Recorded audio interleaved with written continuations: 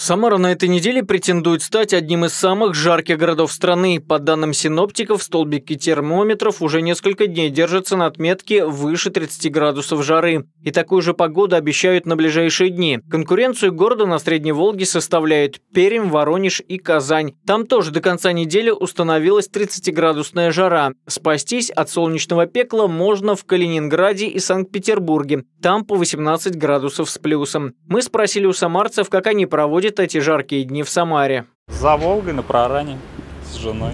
Выходные на даче. Очень плодотворно, полезно и солнечно. Собираемся вот в отпуск по Тольятти в санаторий отдыхать. Мы купались на Волге, э, на Самарке. Офигенная вода, прохладная. Пляж, холодная водичка, речка, все дела. Мы тоже купались на Жигулевское море, ездили и на Волгу. За Волгой загораем, отдыхаем. Все, в принципе. Сама же город-курорт, как говорится. Также жители города рассказали, как они спасаются от жары. Панамочку, водичка. А, я дома сидел, у меня кондер. Мне прекрасно было. Только вечером, когда уже жара спадает, уже можно выйти вот так. Только так. Вот кондиционером. Вот спасать от жары. Я в офисе проводил время под кондиционером. Отлично вообще. А так солнце первый раз увидел, вот магазин вышел. На метро передвигаюсь. Это спасение? Да, я там замерзла вообще. Вышла, согрелась, хорошо.